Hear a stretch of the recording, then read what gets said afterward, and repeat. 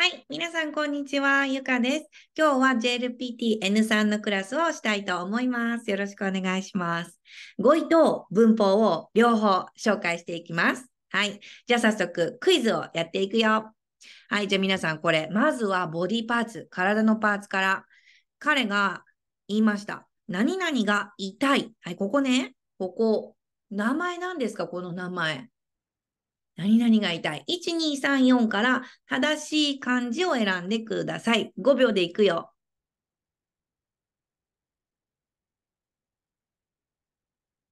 はい、いいかな？選びましたか？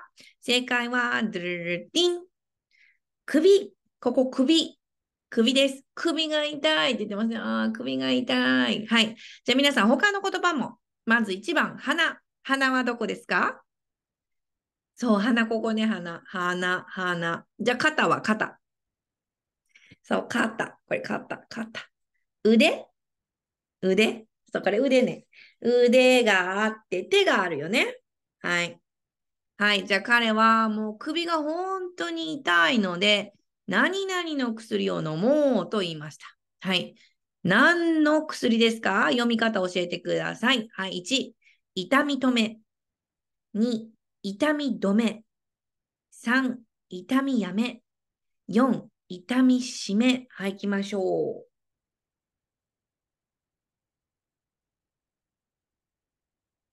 はい。決めました？いくよ。正解はね、リン。2番。痛み止めって読みます。これ、痛み止めはもう本当に漢字の通り、痛みを止める薬です。痛みを止めたり、痛痛みを弱くする、和らげるための薬を痛み止めの薬って言います。いいかな？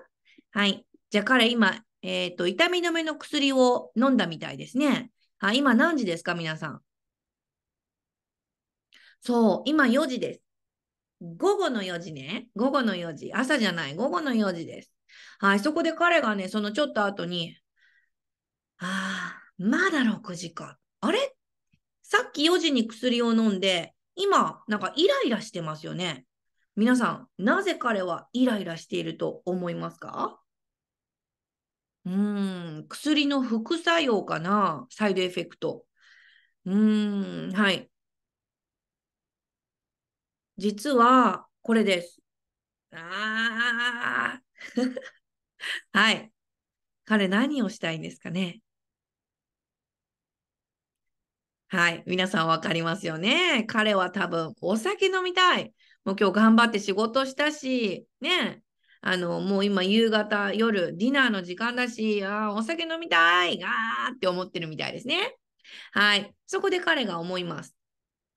痛み止めの薬を飲んだ後って、何時間後にお酒を飲んでいいのかなうん。今まだ6時半ですからね。はい。2時間半ですよね。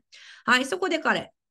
あ、そうだ。ググろう、ググろう。ググろう。グーグルね。グーグルで調べる。ググろう、ググろう。はい。彼、ググりました。どうだったかな？結果は、ガガガガー。はい。スマホも、え、なんかすみませんって感じですよね。はい。じゃあ皆さん、これがスマホに書いてあったこと。はい。薬を飲んでからお酒を飲むまで何々10時間は空けてください。はい。薬を飲んでからお酒を飲むまで、うん、10時間は空けてください。はい。じゃあこれ、正しい使い方ね。新しい言葉入れてください。1、短いとも。2、長くとも。3、少なくとも。4、小さいとも。はい。どれかな？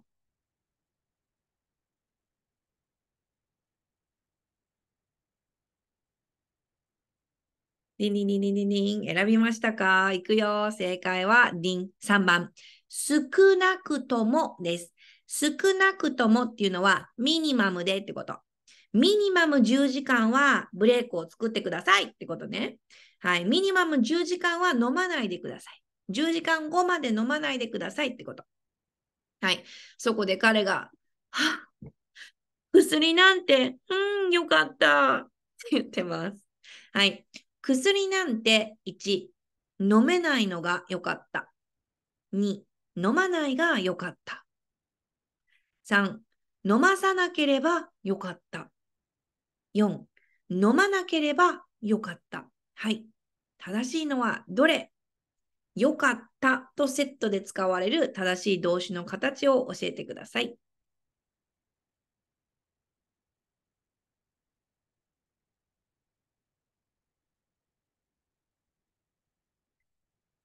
はい、皆さん決めましたか？答え選びました？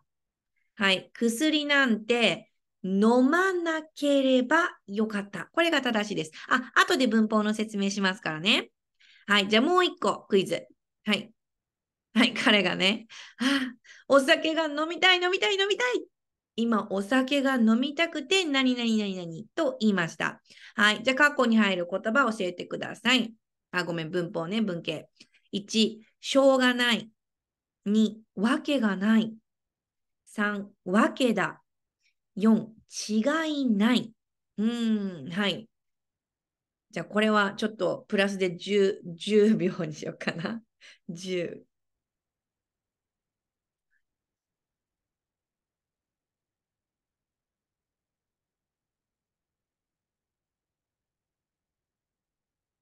はい、行きましょう。正解はね、これ1番、しょうがないです。できました？しょうがない。はい。じゃあ皆さん、ここからね、しょうがないっていうのはもう本当に本当に何々したくて我慢できない。本当にお酒が飲みたい。もうコントロール、この気持ちをコントロールできないっていうのがしょうがないです。はい。じゃあ皆さん、今紹介した文法をもう一度説明していきたいと思います。まず、何々しょうがないは手形とセットで使います。いいかな？はい。手しょうがないで、意味はとても何々で我慢できないってことね。もう本当に何々でコントロールできない、我慢できないっていうのがしょうがないです。仕方がない、手仕方がないも OK。同じです。いいかな？はい。じゃあ皆さん、どんな時にこのしょうがない、仕方がないを使うか。はい。3つ紹介します。1つは自分の感情ね、こうエモーションを強く伝えたいとき、強調したいときに使う。例えば、はい、例文。最近、寂しくてしょうがない。はい、これ自分の気持ちを伝えています。はい、もう最近本当に寂しい。もうこの気持ちが本当に強いんです。っていうことね。はい、次。感覚を強調。感覚っていうのは、こうなんか体で感じることね。はい。例えば、はい。例文。例えば、体が、あ、今日はすごく暑いと感じたとしますね。はい。そしたら、日本の夏は暑くてしょうがないってことができます。いいですか？はい。そして3つ目の使い方。何々したいという気持ちを強く言いたいとき、強調したいときにも、このしょうがないを使うことができます。何々したい気持ちをコントロールできないっていうときね、例えば例文。はあ、今、ピザが食べたくてしょうがない。どうしよう、この気持ち。でも今もう夜の9時だし、今食べたら太っちゃう。でも本当にピザ食べたい。はあ、食べたい、食べたい、食べたい。っていう感じです。いいですか？はい。じゃあ、一つ前の文法に戻って、はい、これ。何々ばよかった。これも復習していきましょう。何々ばよかった。はい。何々ければよかった。それから、なの形容詞と名詞は、ならよかったって形になります。意味は、何々すればよかったですね。should have。はい、いいですか？あとは、えっ、ー、と、うん、そうですね。えーえー、もう一つの意味としては、もし、あ、ごめん。もし何々ならよかったけど違ったっていうのね。はい、いいかな？はい、じゃあ皆さん、ちょっと文作ってみましょう。はい、今日はね、見てください。学校のマラソン大会です。はい、マラソン大会ね。はい、これは、えっ、ー、と、スポーツの日。まあ、スポーツの人ではなくて、マラソンをする日があるんです。学校でね。で、あの学校の外をこう走らなきゃいけないんですけど、私は マラソンが苦手なので、子供の時、このマラソン大会が嫌でした。はい。ってことで、今日はマラソン大会だ。私はマラソンが大嫌いだから、何々ならよかったのにっていつも思いました。はい。ここに入る言葉、どんな言葉が入ると思いますか？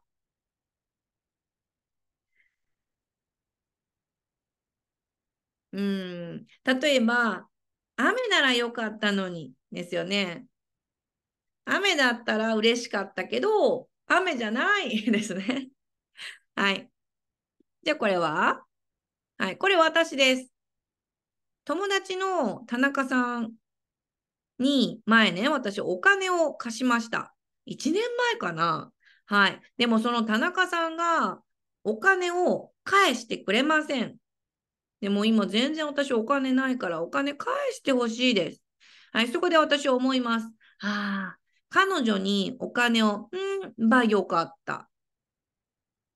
はい。じゃあ皆さん、ここに入る言葉は？うーん。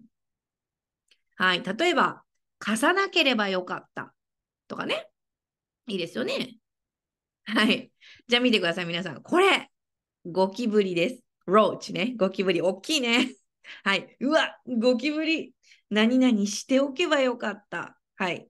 今回は手を置けば、手置く？はい。準備しておくとかね。前にしておくっていうこととセットで使ってます。手を置けばよかった。はい。どんな言葉が入りますか？そうだね。掃除しておけばよかったとかね。後悔の気持ちですね。いいかな？はい。じゃあ、あともう一つね、えっ、ー、と、こう、紹介したかったのが、これ。はい。ミニマムっていう意味の少なくとも、これね、えー、はい。at least ですね。はい。例えば、例文を作ったので見てください。